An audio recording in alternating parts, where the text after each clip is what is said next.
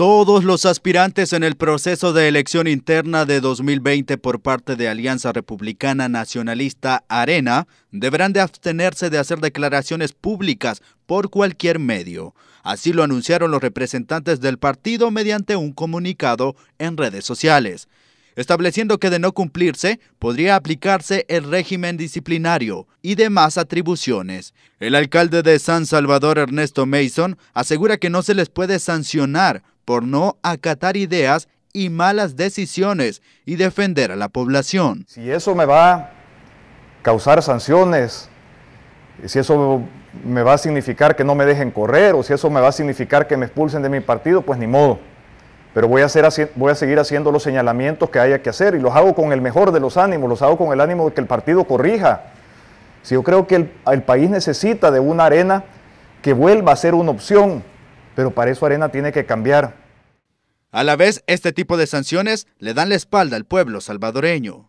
Pensé que renunciando al partido le iba a dar gusto a Javier Simán, a don Ricardo Simán, a la gente que, quiere eh, verme destruido y, no le importa eh, que por quererme destruir a mí se pasen llevando de encuentro a mucha gente afectada, a mucha gente eh, necesitada de San Salvador. Y por eso fue que al final decidí no renunciar al partido. Eh, renunciar al partido hubiera implicado tampoco, también no correr como alcalde y abandonar a la gente de San Salvador en este momento tan difícil. Y ante las declaraciones del expresidente de Arena, Rolando Alvarenga, sobre las acciones del Ejecutivo ante las emergencias de las últimas semanas, el alcalde manifestó que el instituto político se debería de desligar y mejor aportar ante la situación nacional.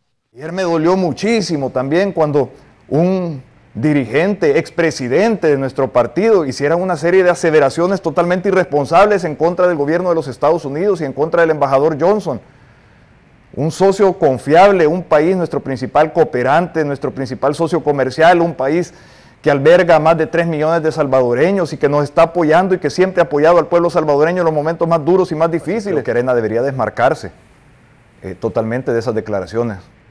No, no deben ser una posición institucional y no debe entenderse ni darse lugar a pensar de que esa es una posición institucional del partido. Esperaría pues que la dirigencia eh, se desmarque de esas declaraciones irresponsables. El edil también lamenta la falta de un acuerdo entre el Ejecutivo y el Legislativo para crear una ley consensuada que ampare el estado de emergencia, cuarentena estricta y la reapertura de la actividad económica. Christopher Cornejo, Noticiero Hechos.